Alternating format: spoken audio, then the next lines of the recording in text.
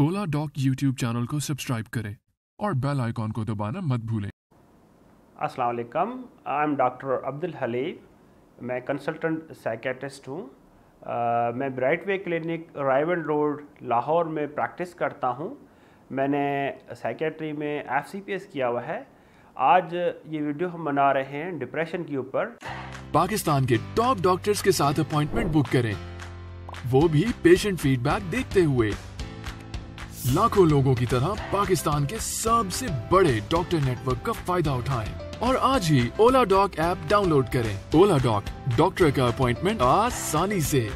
वजह यह है कि डिप्रेशन बहुत ज़्यादा कॉमन डिसऑर्डर है और मोस्ट प्रिवेलेंट है सोसाइटी में और जितनी ज़्यादा कॉमन है, उतनी ज़्यादा अनट्रीट होती है। ट्रीट नहीं होती, इसको सही तरीके से डील नहीं किया जाता। It is a psychiatric disorder और ज़ाहिर है कोई और it's not a sign of personal weakness not a flaw in character जिस तरह डायबिटीज़ एक बीमारी है अ, दिल की जिस तरह बीमारी है इसी तरह डिप्रेशन भी एक नफसियाती बीमारी है. डिप्रेशन अमूमन 10 से 20 फ़ीसद लोगों को होता है. उसमें अ, लोग फीमेल हैं जो वोमेन हैं उनमें दो गुना ज़्यादा डिप्रेशन पाया जाता है. डिप्रेशन की अलामत क्या होते हैं उनके बारे में अब आपको बताऊँगा. डिप्रेशन किसी भी इंसान को हो जाए तो उसमें उनका मिजाज अमूमन उदास रहता है अ, काम करने का दिल नहीं करता सुस्ती रहती है हर वक्त।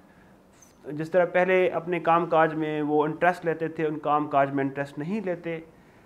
खुद एतमादी की कमी आ जाती है उनके अंदर और कॉन्फिडेंस लो हो जाता है। लोगों से मिलने जुलने का दिल नहीं करता। नींद और भूख में तब्दीली आ जाती है। अगर डिप्रेशन की बीमारी शिदत ज़्यादा हो जाए तो ख़ुदकुशी के, अपने आप को नुकसान पहुँचाने के ख्याल आते हैं। मुस्तकबिल मायूस नज़र आता है। माजी की छोटी छोटी बातों के ऊपर पछतावा आता है। एक सिम्टम सेट ऑफ़ सिम्टम्स है। जिसमें अगर चार से सिम्टम तो ज़्यादातर इम्कान है कि आपको डिप्रेशन की बीमारी है। साइंसी तहकीक के मुताबिक डिप्रेशन की एक वजह तो मौरूसी अवमिल का किरदार हो सकता है। दूसरी वजह डिप्रेशन में जो बचपन में परेशानियाँ होती हैं या बचपन में जो एडवर्स चाइल्डहुड सर्कमस्टेंसेस होते हैं, उसकी वजह से डिप्रेशन हो सकता है। तीसरी वजह यह है कि दिमाग के अंदर कुछ कीमिया अज्जा होते हैं, जिस तरह सीरोटोनिन है, उसकी उसकी लेवल की कमी हो जाती है सीरोटोनिन की कमी हो जाती है, उसकी वजह से डिप्रेशन हो सकता है। और वजह ये हो सकती है कि जिस तरह के हालात हैं, परेशानियाँ या किसी का लॉस हो गया, कोई फाइनेंशियल लॉस आ गया, कोई परेशानी आ गई, इसकी वजह से डिप्रेशन हो सकता है। क्योंकि ये सारे अवामिल मिल के डिप्रेशन काज करते हैं, कोई ख़ास वजह नहीं है डिप्रेशन की। डिप्रेशन का जैसे कि मैंने बताया कि ये साइकेट्रिक डिसऑर्डर है, किसी जादू या तावीज़ की असर की वजह से ये नहीं होता। ये जहनी नफसियाती बीमारी है ज़ाहिर है इसका इलाज मौजूद है। इलाज के हमारे पास दो तरीक़ेकार मौजूद हैं। जो हम डिसाइड करते हैं on the basis of the severity of depression depression की सीवियरिटी कितनी है तो उस हिसाब से हम जो है ट्रीटमेंट ऑप्ट करते हैं। इसमें ट्रीटमेंट में हम एंटी डिप्रेसेंट देते हैं। एंटी डिप्रेसेंट के अलावा साइकोथेरेपी करते हैं। CBT cognitive behaviour therapy interpersonal psychotherapy तो इलाज इसका लंबा चलता है कोर्स होता है। अगर एक दफ़ा डिप्रेसिव एपिसोड आया हुआ है तो छः से नौ महीने का इलाज का दौरानिया होता है। अगर दो से या दो से ज़्यादा दफ़ा डिप्रेशन के इवेंट्स आए हैं डिप्रेसिव एपिसोड आए हैं, अगर दो या दो से ज़्यादा दफ़ा डिप्रेसिव एपिसोड्स आए हैं तो उसका दौरानिया दो साल तक हो जाता है। एक दफ़ा अगर दवाइयाँ स्टार्ट हो जाएँ तो शुरू में जो एंटी डिप्रेशन दवाइयाँ हैं, वो रेस्टलेसनेस एंग्जाइटी क्रिएट करती हैं। लेकिन इसकी वजह से हम उनको लो डोज में स्टार्ट करते हैं और आहिस्ता आहिस्ता बिल्ड करते हैं।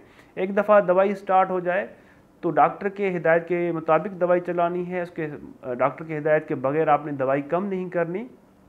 अगर दवाई कम भी करनी है तो आहिस्ता आहिस्ता हम करते हैं डॉक्टर डॉक्टर के हिदायत के हिसाब से। और दवाई के कुछ मौजर असरात हैं, इतने मौजर असरात नहीं आ सकते, जिस तरह और दवाइयों करते हैं, कुछ जानलेवा मौजर असरात नहीं होते।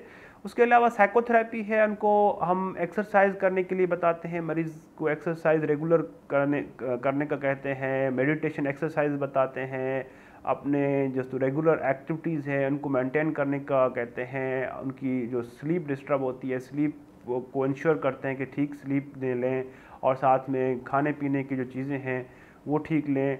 और साथ में हम फैमिली को भी बहुत ज़्यादा फैमिली का रोल होता है डिप्रेशन की काज में भी और डिप्रेशन के इलाज में। अगर फैमिली सपोर्टिव है फैमिली इस चीज़ को समझ रही है कि बीमारी है तो वो बहुत ज़्यादा सपोर्ट भी करती है। अगर सपोर्टिव हो फैमिली और क्रिटिकल ना हो हॉस्टाइल ना हो तो ज़्यादा इम्कान होते हैं कि डिप्रेशन की बीमारी का इलाज सक्सेसफुली जल्दी हो जाए। अगर फैमिली फ़र्ज़ करें इस चीज़ को नहीं समझ रही और हॉस्टाइल एटीट्यूड है क्रिटिकल एटीट्यूड है मरीज़ की तरफ़ तो बीमारी और ख़राब हो सकती है।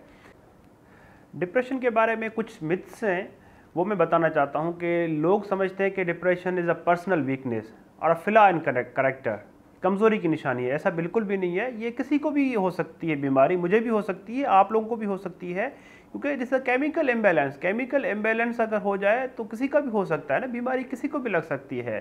So don't think that is a personal weakness और ये होता है कि लोग दवाइयाँ दवाइयाँ लेना पसंद नहीं करते मेडिसिकेशन लेना पसंद नहीं करते, इसकी क्या वजह है? वो समझते हैं कि ये एडिक्टिव हैं।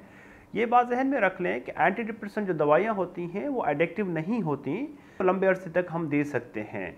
और साथ में ये इलाज लोग छोड़ देते हैं, छोड़ना नहीं है। अगर एक दफ़ा फ़र्ज़ करें डिप्रेशन की बीमारी हो गई तो दोबारा डिप्रेशन के इम्कान बहुत ज़्यादा हो जाते हैं। ये नहीं है कि एक दफ़ा इलाज हो गया कि दोबारा डिप्रेसिव एपिसोड नहीं आ सकता। एक दफ़ा अगर हो जाए डिप्रेसिव एपिसोड तो दूसरी दफ़ा उसके इम्कान ज़्यादा होते हैं। और उसको कैसे बचा जा सकता है? एक तो अपना लाइफ स्टाइल सही मेंटेन किया जाए, सही फ़िज़िकल एक्सरसाइज, रेगुलर किया जाए, अपने सोशल सपोर्ट को सही मेंटेन किया जाए और थिंकिंग पैटर्न को पॉजिटिव किया जाए, क्योंकि कुछ ऐसी चीज़ें हैं जो हम तब्दील नहीं कर सकते। उनको रेजिस्ट नहीं करना चाहिए। जो हम तब्दील कर सकते हैं, उसके लिए बंदा कोशिश करे और अपने एक्सपेक्टेशंस ज़्यादा एडजस्ट कर ले। कुछ लोगों की हाई एक्सपेक्टेशंस होती हैं, वो फुलफ़िल नहीं होती, लोग डिप्रेस होना शुरू हो जाते हैं। या कुछ लोग हाईली प्रोफेशनल होते हैं, एक चीज़ के ऊपर फोकस करते हैं लाइफ में उनके बैलेंस नहीं होता, उसकी वजह से दोबारा उनको डिप्रेशन की बीमारी हो सकती है।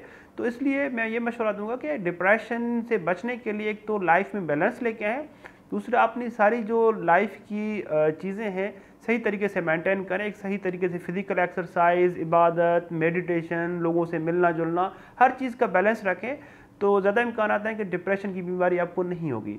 बहुत शुक्रिया। अब पाकिस्तान के हज़ारों डॉक्टर से वीडियो कंसल्टेशन के ज़रिए इलाज करवाएँ। तो अभी ओला डॉक ऐप डाउनलोड करें और घर बैठे अपनी सेहत का ख्याल रखें। ओला डॉक मुश्किल वक्त में आपके साथ।